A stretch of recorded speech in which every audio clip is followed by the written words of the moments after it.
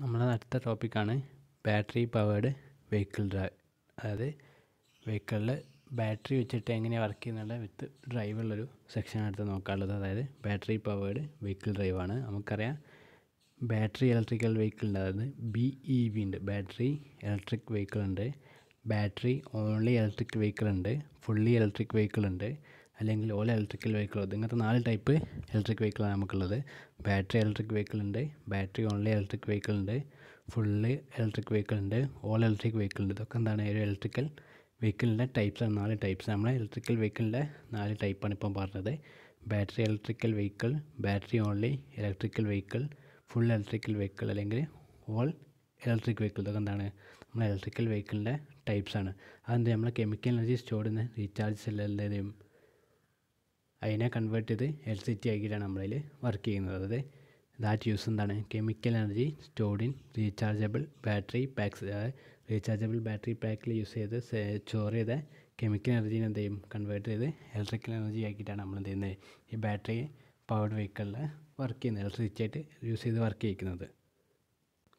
അതേപോലെ നമ്മളെ battery electric vehicle എന്താണ് യൂസസ് ഇലക്ട്രിക് മോട്ടറും അതുപോലെ മോട്ടോർ കൺട്രോളറാണ് യൂസ് ചെയ്യുക. ബാറ്ററി ഇലക്ട്രിക്കൽ വെഹിക്കിൾ നമ്മൾ ഇലക്ട്രിക്കൽ വെഹിക്കിൾ അധികം എന്താണ്? ഇലക്ട്രിക്കൽ മോട്ടറും അതുപോലെ മോട്ടോർ കൺട്രോളറാണ് യൂസ് ചെയ്യുക. എന്തിന്? Instead of internal combustion engine അതായത് ഐ സി ഇ എന്ന് പറഞ്ഞ ഇന്റേർണൽ കമ്പഷൻ എഞ്ചിന് പകരം നമ്മളെ ബാറ്ററി ഇലക്ട്രിക്കൽ വെഹിക്കിളിൽ നമ്മളുടെ ഇലക്ട്രിക് മോട്ടോർ അതേപോലെ മോട്ടോർ കൺട്രോളറൊക്കെയാണ് യൂസ് ചെയ്യുന്നത് അതിന്റെ വർക്കിങ്ങിന് വേണ്ടി. അതെന്ത് ചെയ്യും? They derive all power from the battery pack അതെന്ത് ചെയ്യും? ബാറ്ററി പാക്ക് എല്ലാ പവറും ഡിറൈവ് ചെയ്ത് ഇന്റേർണൽ കമ്പഷൻ ഇല്ലാതെ അതായത് ഫ്യൂവൽ സെല്ല് അതായത് fuel cell fuel tank internal combustion അങ്ങനെയൊന്നും ഇല്ലാതെ എന്ത് ചെയ്യും? ഇത് വർക്ക് ചെയ്യും. അപ്പോൾ നമ്മൾ പറഞ്ഞത് നമ്മളെ ബാറ്ററി ഇലക്ട്രിക് വെഹിക്കിൾ എന്താണ്? ഇലക്ട്രിക് മോട്ടോർ അതുപോലെ മോട്ടോർ കൺട്രോളാണ് യൂസ് ചെയ്യുന്നത്. ഇൻസ്റ്റെഡ് ഓഫ് എന്താണ്? ഇന്റേർണൽ കമ്പഷൻ ഇന്റേർണൽ കമ്പഷന് പകരം നമ്മൾ ഇലക്ട്രിക് മോട്ടോർ മോട്ടോർ കൺട്രോളൊക്കെയാണ് യൂസ് ചെയ്യുക. അതിന്റെ വർക്കിങ്ങിന് വേണ്ടി. ദേ ഡിറൈവ് എന്താണ്? All power from the battery pack battery pack എന്ന് പറഞ്ഞാൽ ഇതിന്റെ ആവശ്യമായ എല്ലാ പവറും ഡിറൈവ് ചെയ്യുക. എന്താ സാർ നോ എന്താണ്? ഇന്റേർണൽ കമ്പഷൻ ഇല്ല. കമ്പഷൻ എഞ്ചിൻ ഇല്ല. ഫ്യൂവൽ സെല്ലില്ല ഫ്യൂവൽ ടാങ്ക് ഇല്ല. അങ്ങനത്തെ ഇതൊക്കെ ഉണ്ടാവില്ല. നമ്മളെ ഈ ബാറ്ററി ഇലക്ട്രിക് വെഹിക്കിൾ ഉണ്ടാവില്ല. അതിലാകെ ഉണ്ടാവുക ബാറ്ററി ഇലക്ട്രിക് മോട്ടറും മോട്ടോർ കൺട്രോളറൊക്കെ മാത്രം എന്ത് ചെയ്യും? അതിന്റെ വേണ്ട പവർ എന്ത് ചെയ്യുക അത് ബാറ്ററി സെൽസിൽ നിന്നാണ് ഡിറൈവ് ചെയ്യുക. അതെന്ത് ചെയ്യുക? ഇന്റേർണൽ കമ്പഷൻ എഞ്ചിൻ ഉണ്ടാവില്ല. ഫ്യൂവൽ സെൽ ഉണ്ടാവില്ല. ഫ്യൂവൽ ടാങ്ക് ഒന്നും ഉണ്ടാവില്ല. നമ്മളെ ബാറ്ററി ഇലക്ട്രിക് വെഹിക്കിൾ ഇൻക്ലൂഡ് ചെയ്യുന്ന എന്തൊക്കെ ഉണ്ട് മോട്ടോർ സൈക്കിൾ ഉണ്ട് ബൈസിക്കിൾ ഉണ്ട് സ്കൂട്ടർ ഉണ്ട് റെയിൽ കാർ ഉണ്ട് വാട്ടർ ക്രാഫ്റ്റ് അങ്ങനെ കുറേ സാധനങ്ങൾ എന്തുണ്ട്? നമ്മൾ ഈ ബാറ്ററി ഇലക്ട്രിക് വെഹിക്കിൾ നമുക്ക് ഇൻക്ലൂഡ് ചെയ്യാനുണ്ട്. പിന്നെ നമ്മളെ ഈ ഇലക്ട്രിക് ബാറ്ററി ഇലക്ട്രിക് വെഹിക്കിളെ പോലെ തന്നെ വേറെ സംഭവമാണ് എന്ത് ഹൈബ്രിഡ് ഇലക്ട്രിക്കൽ വെഹിക്കിൾ എന്ന് പറയുന്നത്. ഹൈബ്രിഡ് ഇലക്ട്രിക് വെഹിക്കിൾ എന്ന് പറയുമ്പോൾ എന്തെയും വെഹിക്കിൾ യൂസ് എന്താണ്? ബോത്ത് ഇലക്ട്രിക് മോട്ടറും അതുപോലെ ഇന്റേർണൽ കമ്പഷൻ എഞ്ചിൻ യൂസ് ചെയ്യുന്നതിനാണ് നമ്മൾ എന്താ പറയുക ഹൈബ്രിഡ് ഇലക്ട്രിക് വെഹിക്കിൾ എന്ന് പറയുക സാധാരണ നമ്മൾ ബാറ്ററി ഇലക്ട്രിക് വെഹിക്കിൾ എന്തുണ്ട്? നമുക്ക് ഇലക്ട്രിക് മോട്ടറും മോട്ടോർ കൺട്രോൾ സർക്യൂട്ട് മാത്രമേ ഉണ്ടാവും. പക്ഷേ അതിൽ എന്തുണ്ടാവും? ഹൈബ്രിഡ് ഇലക്ട്രിക് വെഹിക്കിൾ ആകുമ്പോൾ നമുക്ക് വെഹിക്കിൾ യൂസിങ് ബോത്ത് എന്താണ്? ഇലക്ട്രിക് മോട്ടറും അതേപോലെ ഇന്റേർണൽ കമ്പഷൻ എഞ്ചിനും ഇന്റേർണൽ കമ്പഷൻ എഞ്ചിനും ഇലക്ട്രിക് മോട്ടറും കൂടി കൂടി യൂസ് ചെയ്യുന്ന വെഹിക്കിൾസിന് നമ്മൾ എന്താ പറയുക ഹൈബ്രിഡ് ഇലക്ട്രിക് വെഹിക്കിൾ എന്ന് പറയുക എന്താ പറയുക നോട്ട് കൺസിഡേഴ്സ് പ്യുവർ പ്യുവർ അല്ല. കാരണം എന്താണ്? നമുക്ക് അതിനെ എക്സ്റ്റേണലി ചാർജ് ചെയ്യാൻ പറ്റില്ല. കാരണം മറ്റേ സാധാരണ ബാറ്ററി ഇലക്ട്രിക് വെഹിക്കിൾ ആണെങ്കിൽ നമ്മൾ ചെയ്യാം? എക്സ്റ്റേണലി നമുക്ക് ചാർജ് ചെയ്യാൻ പറ്റും. പക്ഷേ നമ്മളെ ഹൈബ്രിഡ് ഇലക്ട്രിക് വെഹിക്കിൾ ആകുമ്പോൾ അതിൽ ഇലക്ട്രിക് മോട്ടറും ഉണ്ട് അതേപോലെ ഇന്റേർണൽ കമ്പഷൻ എഞ്ചിനും ഉണ്ട്. അതിന്റെ എക്സാമ്പിളാണ് ഹൈബ്രിഡ് ഇലക്ട്രിക് വെഹിക്കിളിന് എക്സാമ്പിളാണ് അത് നമുക്ക് എന്ത് ചെയ്യാം? കൺസിഡർ പ്യുവറായിട്ട് കൺസിഡർ ചെയ്യാൻ പറ്റില്ല. കാരണം എന്താണ്?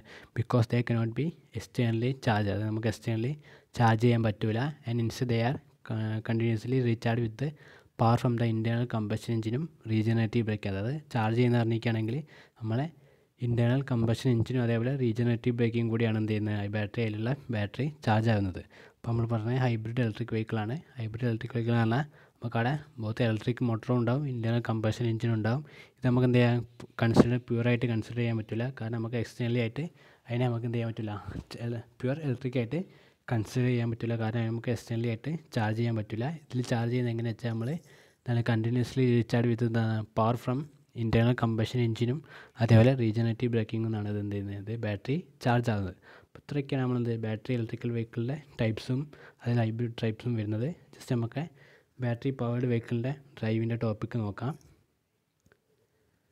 ഇതിൽ ഫസ്റ്റ് എന്താ പറയുന്നത്? Vehicle which get power through a self controlled battery അതായത് വെഹിക്കിളിൽ പവർ കിട്ടുന്നത് സെൽഫ് കൺട്രോൾ ബാറ്ററി എന്നാണ് എന്ത് ചെയ്യുന്നത് നമുക്ക് ഈ വെഹിക്കിളിന് ആവശ്യമായ പവർ കിട്ടുന്നത്. സാധാ നമ്മളെ വെഹിക്കിളാണ് എന്ത് ചെയ്യും? നമ്മൾ എഞ്ചിൻ ഇതായിട്ട് പെട്രോൾ ഇതായിട്ടാണ് എന്ത് ചെയ്യുന്നത്? അതിലേക്ക് പവർ ഇതാക്കുന്നത്. അപ്പോൾ ഇതിലെങ്ങനെയാണ് നമുക്ക് സെൽഫ് പവർ ബാറ്ററി എന്നാണ് നമുക്ക് ചെയ്യുന്നത്? ഈ ബേസ് എന്ത് ചെയ്യുന്നത്? ഇതിലെ ബാറ്ററി ഇലക്ട്രിക് വെഹിക്കിളിലേക്ക് പവർ കിട്ടുന്നത്. അപ്പോൾ നമ്മൾ ഇവിടെ പറയുന്നത് the vehicle which get powered through എന്താണ്? Self controlled battery for converting എന്താണ് ഫ്യൂവൽ ഇൻ ടു എലക്ട്രിസിറ്റി അതായത് നമുക്കിവിടെ എന്താണ് ഗെറ്റ് പവർ ത്രൂ എന്താണ് സെൽഫ് കൺട്രോൾഡ് ബാറ്ററിയാണ് എന്ത് ഫ്യൂവലിനെ എൽ സി ടി ആക്കി മാറ്റിയാണ് സച്ച് ടൈപ്പ് ഓഫ് വെഹിക്കിളാണ് നമ്മൾ പറയുന്നത് ബാറ്ററി പവർഡ് വെഹിക്കിൾ അല്ലെങ്കിൽ ഇലക്ട്രിക് വെഹിക്കിൾ എന്ന് പറയുന്നത്. അപ്പോൾ അതിന്റെ കുറേ ക്ലാസിഫിക്കേഷൻ നമ്മൾ പറഞ്ഞ് പല ടൈപ്പും പറഞ്ഞ് ഹൈബ്രിഡ് എന്താണെന്നും പറഞ്ഞ്. പിന്നെ എന്താണ് അതിൽ നമ്മൾ ലെഡ് ആസിഡ് ബാറ്ററിയാണ് എന്ത് ചെയ്യുന്നത്? Most mostly used for powering the vehicle മെയിനായിട്ട് നമ്മൾ യൂസ് ചെയ്യുന്നത് എന്താണ്? ലെഡ് ആസിഡ് ബാറ്ററിയാണ് നമ്മൾ മെയിനായിട്ട് യൂസ് ചെയ്യുന്നത് ബിക്കോസ് എന്താണ്? ഇത് ലോ കോസ്റ്റ് ഭയങ്കര ലോ കോസ്റ്റ് ആയതുകൊണ്ട് നമ്മൾ എന്ത് മെയിനായിട്ട് യൂസ് ചെയ്യുന്നത് ലെഡ് ആസിഡ് ബാറ്ററിയാണ് എന്ത്? നമ്മളെ ബാറ്ററി ഇലക്ട്രിക് വെഹിക്കിൾ നമ്മൾ മെയിനായിട്ട് യൂസ് ചെയ്യുന്ന ബാറ്ററിയാണ് ലെഡ് ആസിഡ് ബാറ്ററി ആയിരിക്കും. അത് ഭയങ്കര ലോ കോസ്റ്റ് ആയതുകൊണ്ടാണ് അത് യൂസ് ചെയ്യുന്നത്. അത് നമ്മൾ various type of D C അതിന് induction motor use in battery powered vehicle അതായത് ബാറ്ററി പവർഡ് വെഹിക്കിൾ നമ്മൾ എന്ത് ഡി സി മോട്ടർ യൂസ് ചെയ്യേണ്ടത്. അതായത് വേരിയസ് ഇൻഡക്ഷൻ മോട്ടർ നമ്മൾ എന്ത് ചെയ്യുന്നത്? ഈ ബാറ്ററി പവേർഡ് വെഹിക്കിളിൽ നമ്മൾ ഇലക്ട്രിക് ഡ്രൈവ് വെഹിക്കിൾ നമ്മൾ യൂസ് ചെയ്യുന്നുണ്ട്. അപ്പോൾ നമുക്ക് ജസ്റ്റ് നമുക്ക് അവിടെ ഒരു നമുക്ക് എന്ത് ചെയ്യുക കൺസിഡർ ചെയ്യുക എന്തോ ഒരു പെർമനന്റായ ഡി സി ഡ്രൈവ് ഉണ്ട്. നമ്മൾ ഫിഗർ ഇവിടെ കാണിച്ചിട്ടുണ്ട്. അവിടെ നിന്ന് ചോപ്പർ ഉണ്ട്. Control and D C drive facility അതായത് ഒരു D C permanent D C ഡ്രൈവാണ് ഇവിടെ ഉള്ളത്. അതിനെന്തായാലും ചോപ്പർ കൺട്രോൾ ഉണ്ട്. ഡി സി ഡ്രൈവ് ഫെസിലിറ്റി ഉണ്ട്. അതിനെന്ത് എൽ എഫും സി എഫും എന്ന് പറഞ്ഞ ഫിൽറ്റർ ഉണ്ട്. അത് യൂസ് ചെയ്യുന്നത് എന്താണ്? ഫിൽറ്റർ അത് ഹാർമോണിക്സ് ഫിൽറ്റർ ചെയ്യാൻ വേണ്ടിയിട്ടാണ് യൂസ് ചെയ്യുന്നത്. ഈ generated by the chopper chopper generate ചെയ്ത ഹാർമോണിക്സിനെ ഫിൽറ്റർ ചെയ്യാൻ വേണ്ടിയിട്ട് നമ്മളിവിടെ എൽ എഫും സി എഫും എന്ന് പറഞ്ഞ രണ്ട് ഫിൽറ്റർ യൂസ് ചെയ്യുന്നുണ്ട്. പിന്നെ എന്തുണ്ട് എം എസും മെയിൻ സ്വിച്ചും ഉണ്ട്. ആർ എസ് എന്ന റിവേഴ്സ് സ്വിച്ചും ഉണ്ട്. ജസ്റ്റ് നമ്മളിപ്പോൾ ഡിസ്കസ് ചെയ്യുന്നത് ബാറ്ററി പവേർഡ് വെഹിക്കിൾ ഡ്രൈവ് ആണ്.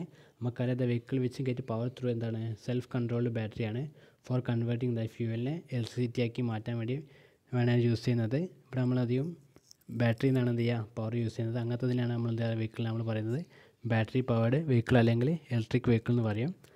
ഇതിലധികം നമ്മൾ യൂസ് ചെയ്യുന്ന ബാറ്ററി പവേർഡ് ഇലക്ട്രിക് വെഹിക്കിൾ അധികം നമ്മൾ യൂസ് ചെയ്യുന്നത് ലെഡ് ആസിഡ് ബാറ്ററിയാണ് കോമൺ ആയിട്ട് അതിന്റെ പവറിങ്ങിന് യൂസ് ചെയ്യുന്നത്. കാരണം അത് വളരെ ലോ കോസ്റ്റാണ് ആണ്.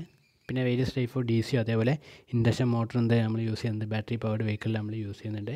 ജസ്റ്റ് നമുക്ക് ഇവിടെ ഒരു ഫിഗർ ഉണ്ട് ഈ ഫിഗർ നമ്മൾ കൺസിഡർ ചെയ്യുന്നത് പെർമനന്റ് ഡി സി മോട്ടർ വെച്ചിട്ടുള്ളതാണ്.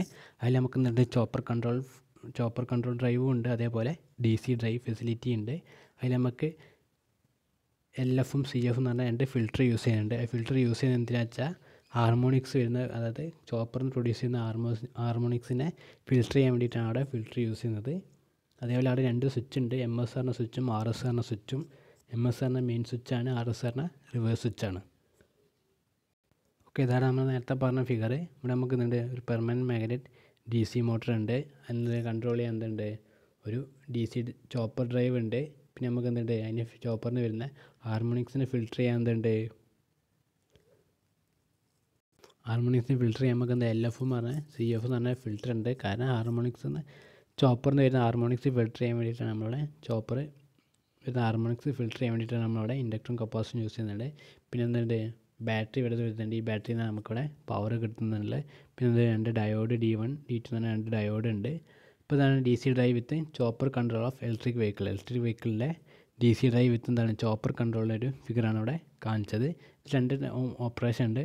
മോഡ് ഉണ്ട്. അതായത് മോട്ടറിങ് ഓപ്പറേഷനും റീജനറേറ്റീവ് ബ്രേക്കിംഗ് ഓപ്പറേഷനാണ് അതായത് മോഡ് വൺ മോഡ് ടു എന്ന് പറയും. മോഡ് വൺ പറഞ്ഞാൽ മോട്ടറിങ് ഓപ്പറേഷനാണ് മോഡ് ടു പറഞ്ഞാൽ റീജനറേറ്റീവ് ബ്രേക്കിംഗ് ഓപ്പറേഷനാണ് ജസ്റ്റ് നമുക്ക് മോഡ് വൺ ഓപ്പറേഷൻ നോക്കാം. ഓക്കെ അപ്പോൾ നമ്മൾ മോട്ടറിങ് ഓപ്പറേഷൻ നോക്കാം. മോട്ടറിങ് ഓപ്പറേഷനിൽ പറയുന്നത് എന്താണ്?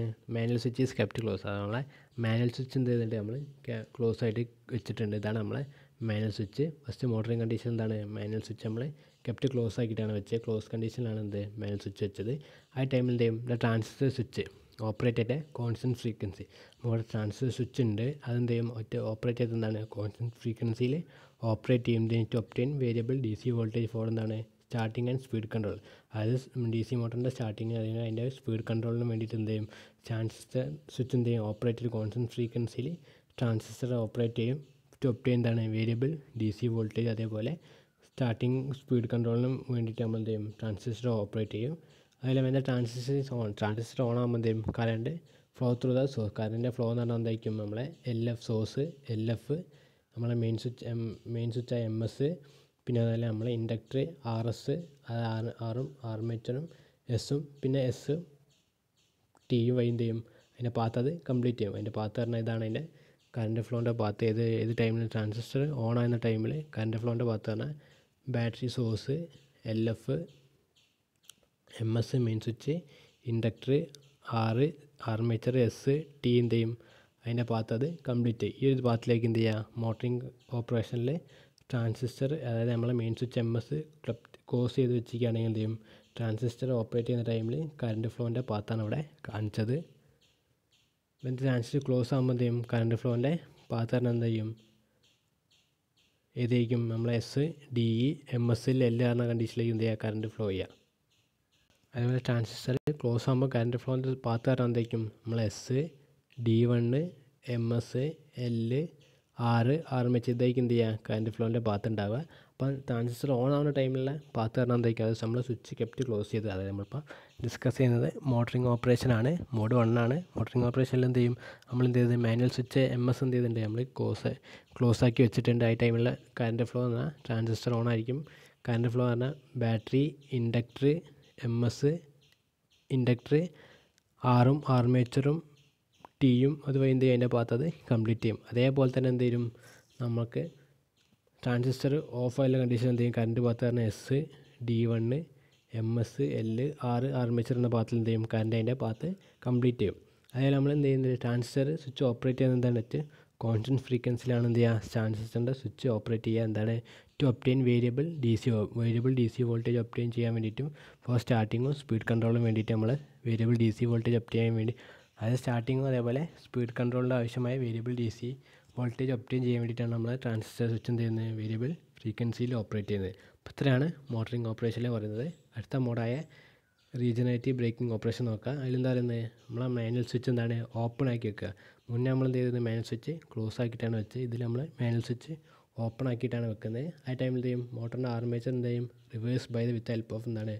റിവേഴ്സ് സ്വിച്ച് നമ്മൾ ആർമേച്ചർ എന്ത് ചെയ്യും? റിവേഴ്സ് ചെയ്യും. നമുക്ക് ആർ എസ് തന്നെ റിവേഴ്സ് സ്വിച്ച് ഉണ്ട് ആ റിവേഴ്സ് സ്വിച്ച് വെച്ചിട്ട് എന്ത് ചെയ്യും? നമ്മൾ മോട്ടറിന്റെ ആർമേച്ചറിനെ റിവേഴ്സ് ചെയ്യും which makes B positive with respect to A അപ്പോൾ നേരെ തിരിച്ചെന്ത് ചെയ്യും? എ പോസിറ്റീവ് ഉള്ളത് എ നെഗറ്റീവോ ബി എന്ത് ചെയ്യും? പോസിറ്റീവോ അങ്ങനെ അതിനെ നമ്മൾ റിവേഴ്സ് ചെയ്ത് അപ്പോൾ ആ ടൈമിൽ നമ്മൾ ട്രാൻസിസ്റ്റർ ഓൺ ആകുമ്പോൾ എന്ത് ചെയ്യും? കറണ്ട് ഫ്ലോ ത്രൂ എന്ന് പറഞ്ഞാൽ എന്ത് ചെയ്യും? ടി ഡി ടു എൽ എന്ന് പറഞ്ഞാൽ ഇതിൽ കൂടെയായിരിക്കും current flow transistor diode to L എന്ന് പറഞ്ഞാൽ പാത്തു കൂടെയായിരിക്കും എന്ത് ചെയ്യുക? ട്രാൻസിസ്റ്റർ ഓൺ ആകുന്ന ടൈമിൽ കറണ്ട് ഫ്ലോ ഉണ്ടാവുക.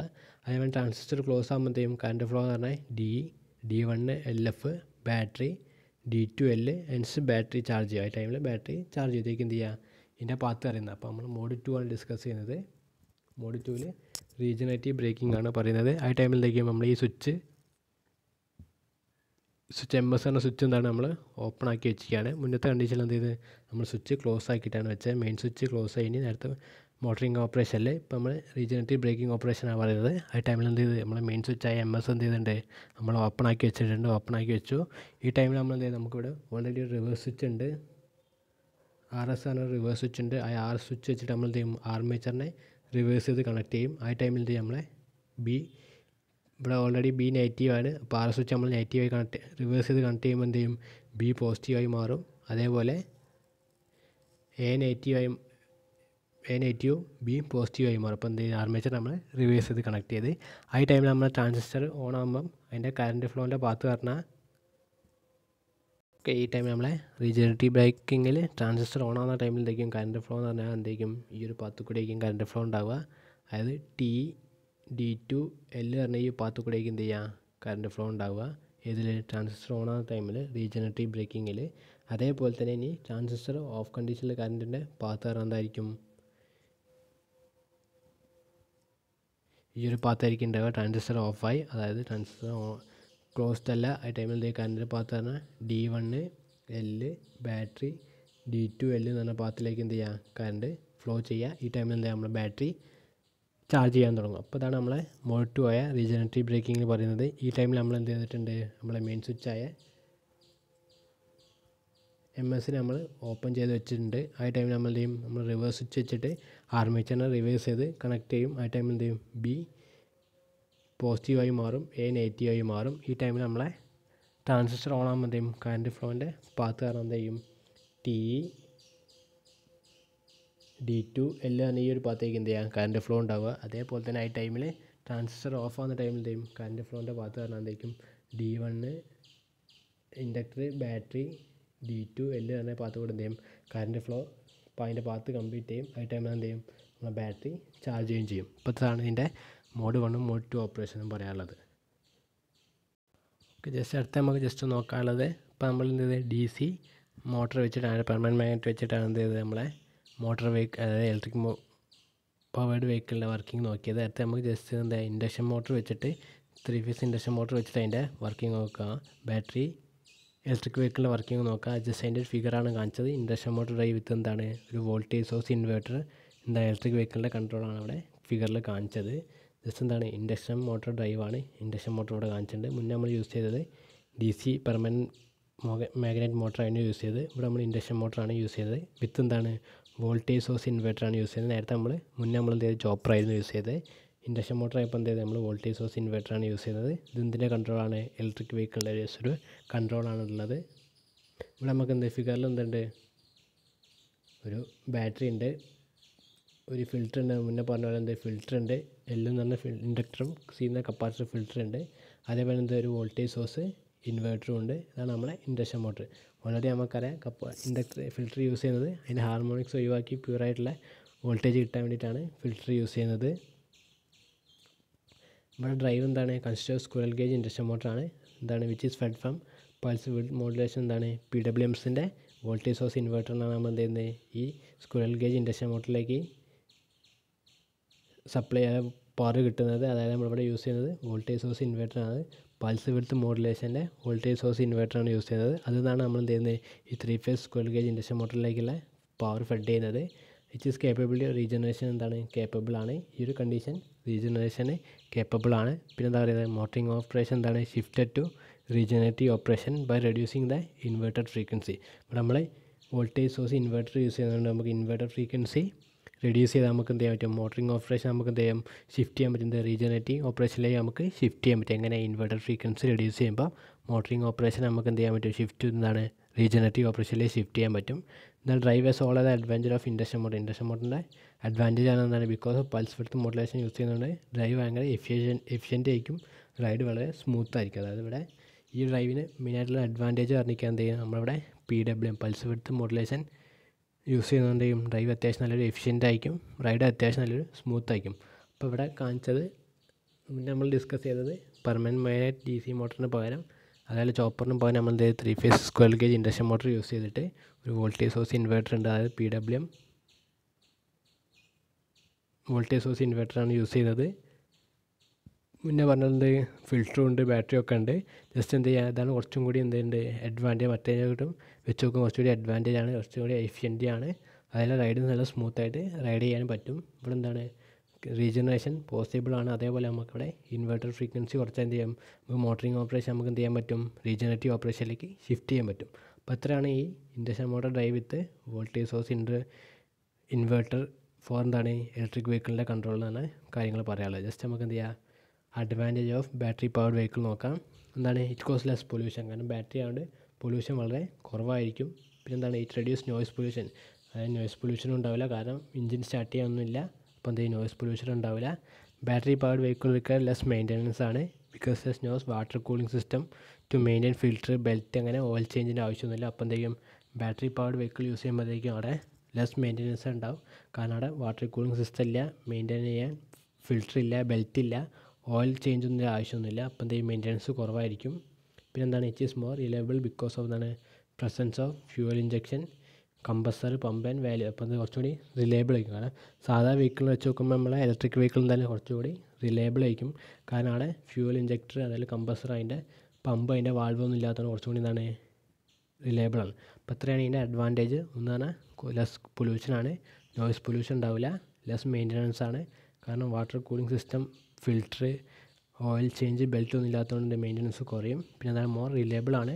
കാരണം അവിടെ fuel injector compressor pump valve ഒന്നും ഇല്ലാത്തതുകൊണ്ട് മോർ റിലയബിൾ ആണ്. ജസ്റ്റ് ഇതിന്റെ ഡിസഡ്വാന്റേജ് നോക്കാം.